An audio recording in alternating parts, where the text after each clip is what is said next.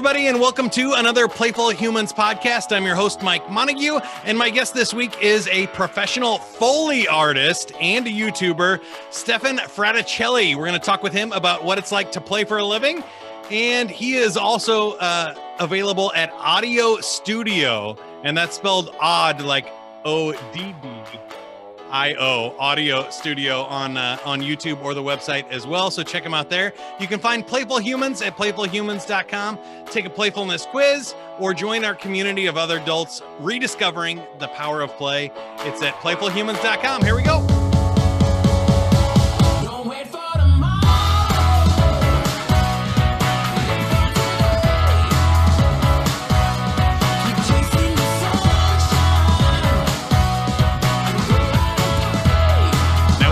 Wait for the woohoos.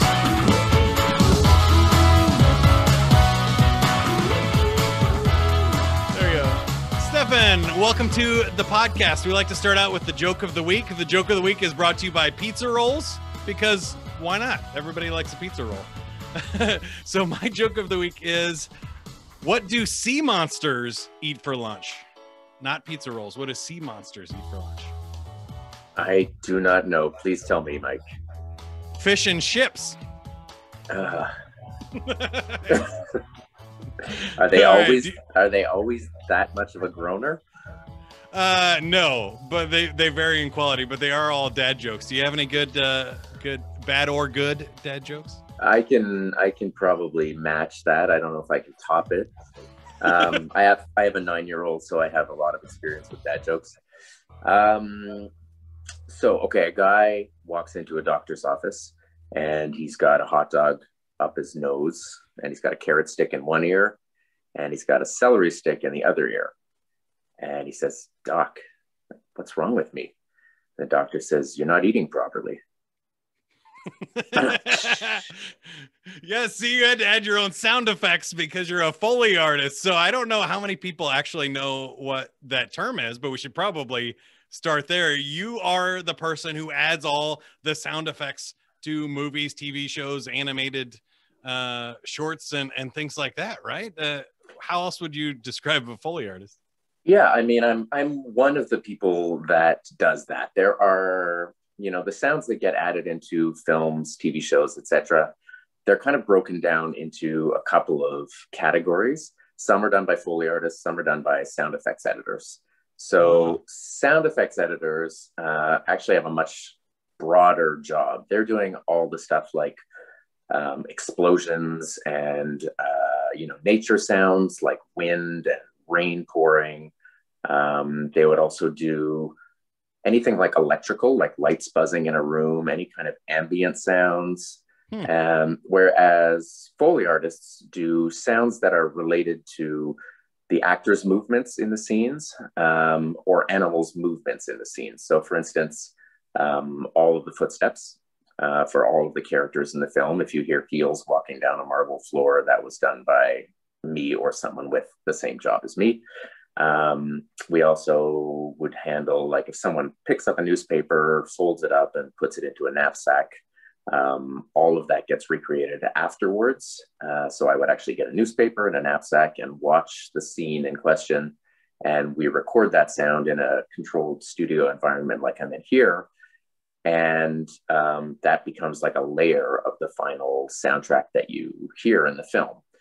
So the reason for that is on set, um, the recordists who are excellent at what they do are very focused on getting the dialogue clean.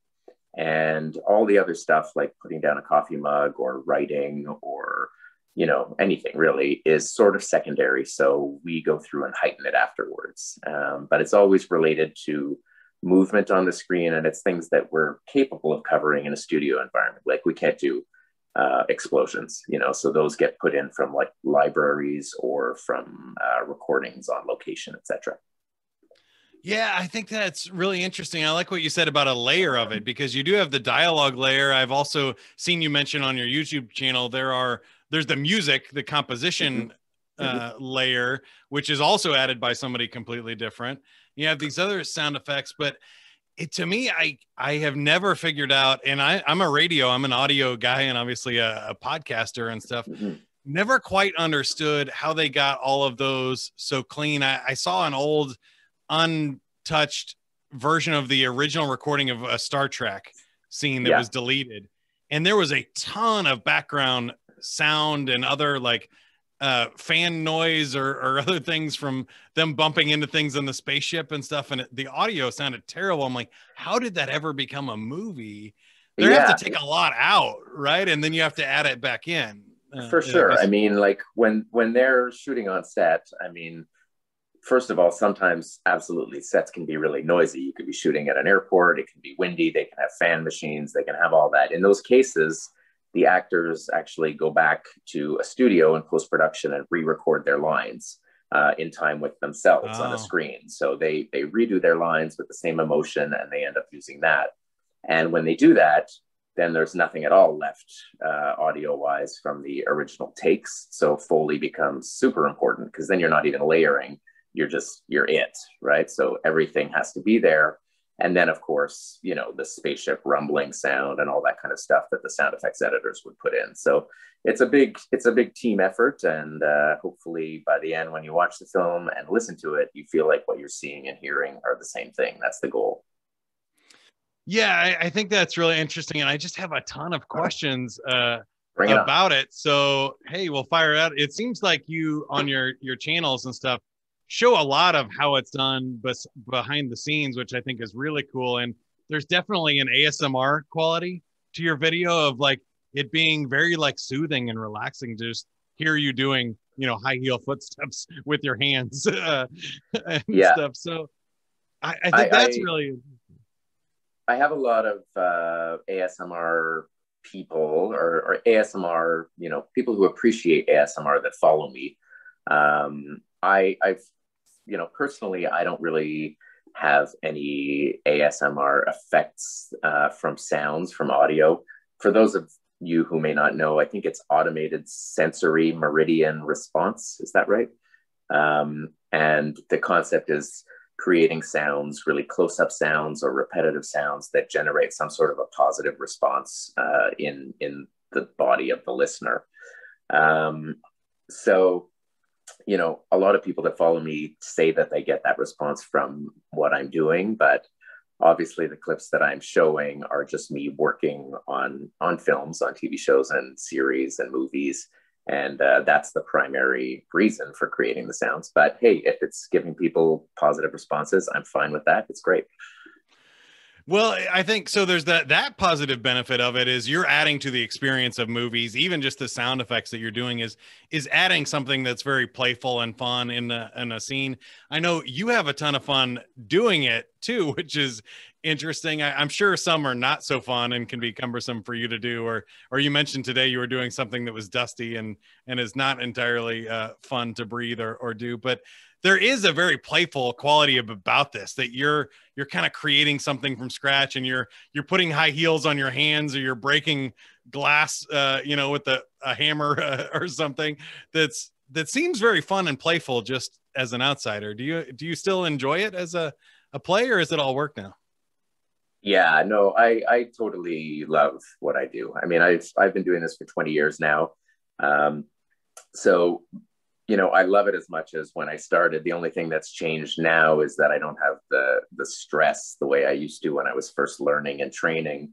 Because you know, studio time is expensive, and when you don't have the experience to like figure out the sounds as quickly as you you know feel like you should be doing it, um, it's kind of stressful. You start to like panic, you know, what am I going to do? I need to create this sound. I don't have the right prop, all that kind of stuff and now that I've been doing it for uh, 20 years, I I kind of there aren't really too many scenarios that come up where I don't immediately have some sort of direction. You know, there's always new stuff, but usually you can relate it to something that's happened in a different scene in the past and then kind of modify it a certain to a certain degree.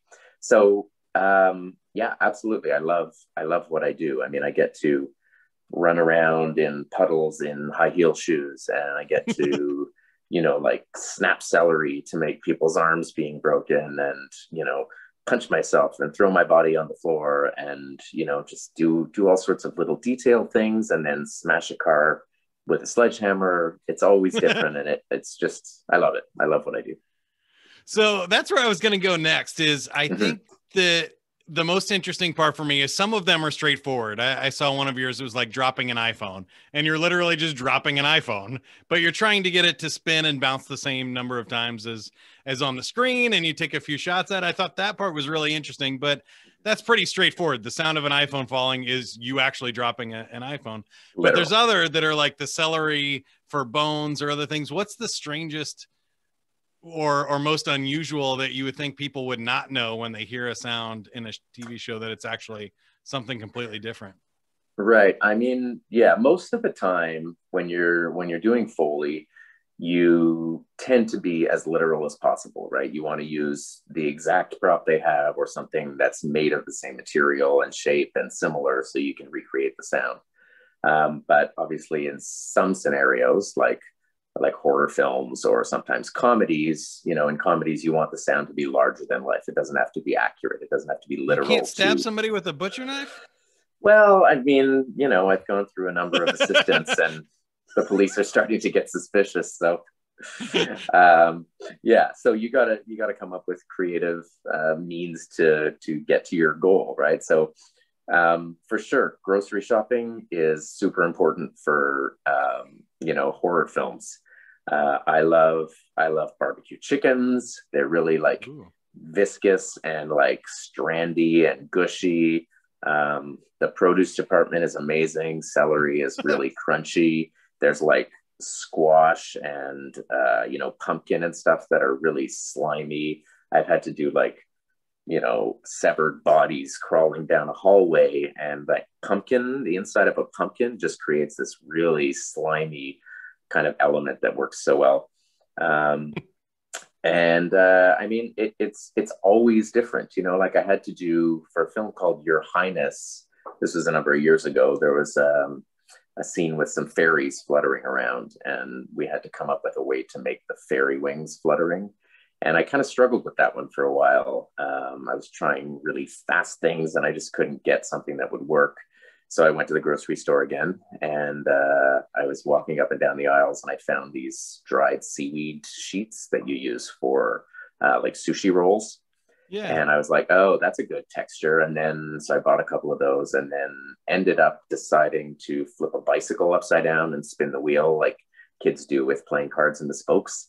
And then just kind of inserted the seaweed leaf in there or seaweed sheet rather. And it just came up with a perfect fluttering sound. And that's what you hear when you see the film is seaweed and a bicycle. Wow, that's awesome. I, I like that seaweed in a bicycle is fairy wings now, Mhm. now that we know. Um, now my wife has misophonia. Have you ever heard of this? Uh, is this the like aversion to certain sounds, like repetitive things or chewing or that kind of stuff? Yes. Yeah. Yeah. The hatred of, of sounds. And so it's the opposite of the ASMR. She could Yeah. not stand any of those videos. She will like punch people or or like destroy equipment that is like uh if the if I don't replace the smoke alarm quickly, like it might get permanently damaged. Uh no, Yeah, but don't I'm, get a I'm giving her to it. She's not actually that violent, but she does have a severe hatred and it will like freak her out. Her heart rate on her Fitbit will jump to like 150 and Wow. if somebody's like typing on a, a laptop behind her in a uh, airplane or something that would freak her out so we have lots of good noise canceling headphones and stuff but do you have a least favorite sound Um, you know what? I think that uh, first of all, personally, I don't have any least favorite sounds. I'm okay with everything. I do like nails on blackboards and pulling rakes across, you know, sheets of metal and chewing. None of that bothers me. Um, but I will say that every engineer that I've worked with, without fail, uh, really struggles with chewing sounds. Um, Yeah. You know, because we do dinner scenes and, you know, people are cutting steaks, so we'll do all the cutting. And then sometimes in the comedies, they want that, like, you know, really big, disgusting chewing sound. And they're always like in record, and I can see them doing this, like away from the faders and away from the speakers. and then as soon as the take is it doesn't done, help when you have like, headphones on but yeah yeah yeah um, so but i'm fine i'm fine with anything Wow. Well, that's yeah, uh, that's definitely good for your job, but I, I can see how that, and I I see the whole thing very holistically. I I think I'm an auditory person where I've always just found it interesting. I was kind of a a mimic too. I like to do uh, impressions of, of people, and even from a very young age would kind of uh, do that. So I, have always appreciated sound, but it, it's interesting to me the the wide range of spectrum that it can create as far as emotions go, from really really happy positive sounds like music that make people move and dance to like you said nails on a chalkboard they'll make people freak out and run away. You have a, a lot of power in your hands there as a foley artist. Sound is sound is a powerful thing for sure. I mean you know as as a foley artist you're you're dictated by what the action is on the screen right? It's not you never you're never coming up with oh what could we add into this scene? You know you're always doing what the scene tells you to do but within those parameters there are often ways to you know make it even slightly more visceral or make it just kind of pop a little bit more. So that's where you know the experience of working for a number of years as a foley artist and having engineers who are also very experienced because it's, it's always a collaboration back and forth. We work together to come up with what we think will be perfect for the scene and uh, hopefully we succeed. Well that was going to be my last question for you about the technical details. Then I want to know more about you and your career and, and how it actually uh, you got here into doing this. But sure. my last technical question for you was I noticed when you're doing your videos that you're watching usually like the video of what you're trying to match. So I'm imagining, especially for animation, but also for movies, people don't realize that you don't just record one footstep and then they paste that in several times. If if they're taking seven steps, you have to take them in time with the the beat of the person walking and stuff. And i find that very interesting and almost very artistic. I see you get your your whole body into it and you're watching and you're you're trying it three or four times to make sure that it it matches up right. I think how, how do you balance a technical thing where maybe i could just take one heel and go into the studio and replicate that a whole bunch of times versus when i need to actually match the whole whole movie yeah. Yeah. I mean like we it, it's way first of all it's way more efficient uh, and it works way better to create the sounds as you're watching the scene. Um, you know everything i do is not always perfectly in sync because we we adjust things you know like one or two frames and there are like 30 frames a second. So um, we always end up editing and lining it up after to make sure it is perfectly in time with the picture and with the guide track that they recorded on set. But you, when you perform it in time with the actor, first of all, uh, you're ensuring that the sounds you're creating work and they feel natural.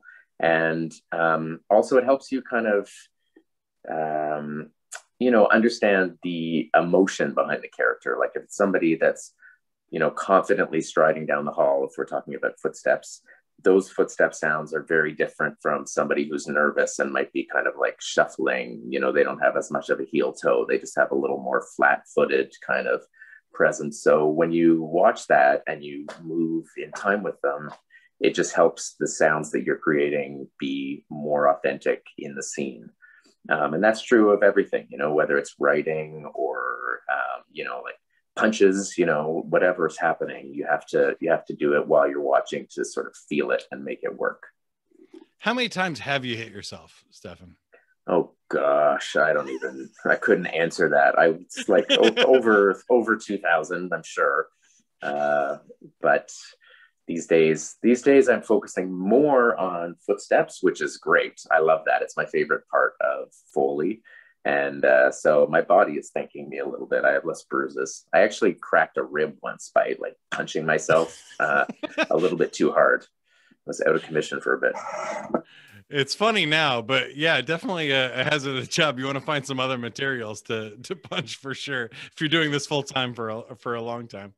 Bodies uh, have specific sound though. You know, it's like it really. There's nothing like getting that kind of chest cavity impact. It really works. That's great. So, if you want to check out uh, more of his work, go to Oddio Studio. It's O D D I O, uh, which is a great name for sure for an audio studio. Uh, but lots of odd, fun sounds there. And I know you're also on social media and stuff as well if they find that. uh, good Instagram follow and and stuff. Uh, yeah, same name, Oddio Studio on Instagram, TikTok, YouTube. So yeah, have a look. Thanks. Then I want to get to know you a little bit more because, like you said, you you've gotten to work with a lot of movies and television shows now. You got the career pr- pretty settled, and you got your own studio there. But did you ever have a real job? Is this something you always wanted to do and went to school for and straight into it, or how did you end up in this career? Because it seems very niche uh, to me. But I don't know how many how many foley artists there are in Canada or the United States. Yeah, it, it's it's definitely uh, a pretty niche job. I mean, we in Canada, um, I mean, let's just say Toronto. Uh, we're we're I don't know six million people or something like that, and I think I know all the Foley artists, uh, which is about probably thirteen or fourteen. Um, so it's actually very difficult to get into. You need to get lucky, essentially. Um, if you have a background in, uh, you know, some sort of schooling in film or post production or audio, that's definitely beneficial. But really, the only way to get into it is through an apprenticeship with an established Foley artist. Um, so I originally came here. I'm in Toronto, by the way, and I came here from Mhm. Montreal.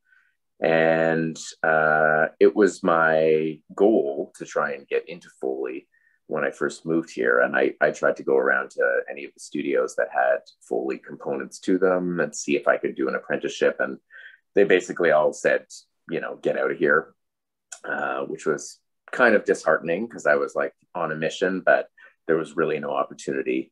Um, so I did move into other jobs for a while. I was in uh, tourism, hospitality industry, kind of like booking hotel space for people visiting Canada and booking hotels across the country, that sort of thing. Mm.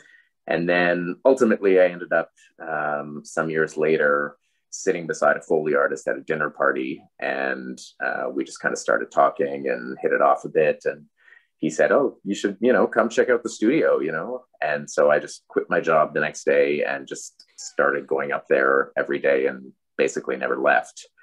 Uh, and Wow. eventually that led to, you know, being able to, you know, it started with just watching and being quiet and listening and observing. And then I got the opportunity to try a few sounds, some background people footsteps, and maybe, you know, like a knapsack down on the ground. And then that Hmm. progressed from there. I got to meet some more people in the industry, and uh, now it's been going well for 20 years.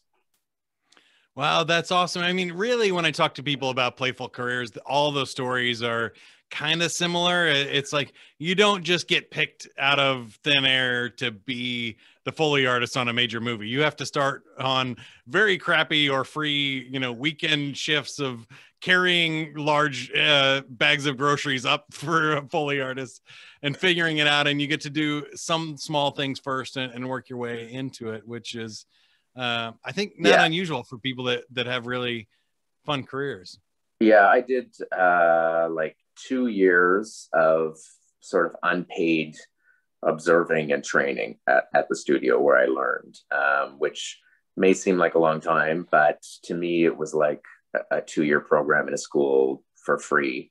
Um, and while I was doing that, I was, you know, cleaning up the studio after the shift, making coffee for everyone, trying to just make myself not be annoying and you know it kind of doing then i started doing some night shifts which were you know sort of starting at seven and going till three in the morning. And uh yeah it's never it's never easy at first but it you know the payoff is worth it.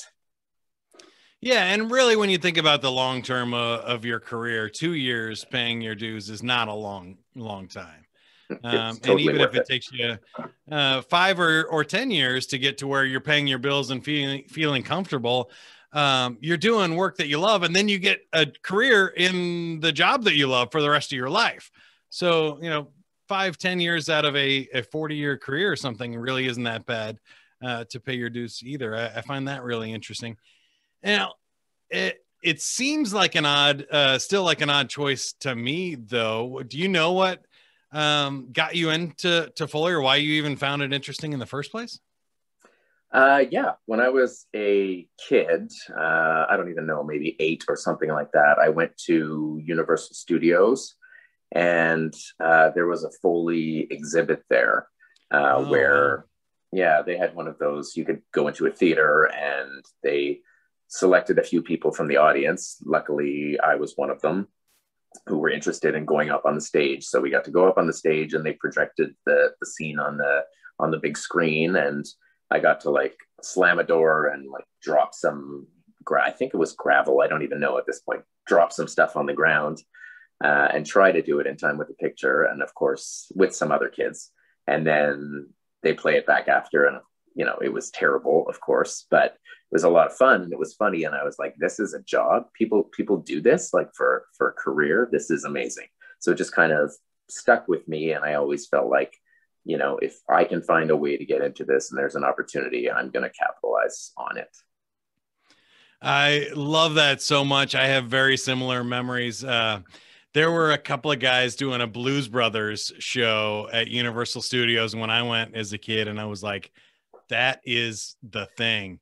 Uh, you know, black suit, black skinny tie, and a hat, and you're just dancing around having fun and messing with people. And too cool Uh, for school yeah and being cool wearing sunglasses you know at night um that's i was like that to me like if i could again if i could get a job uh doing that i don't know how you would not play for a living but I, i've had lots of experiences like that from radio to um any type of host i, I love hosting so i do virtual game show hosting and other things where it's like well, yeah, if you could get paid to host the Price is Right or Family Feud or something like, who would turn that down? Why would you not want that job? That's that's amazing.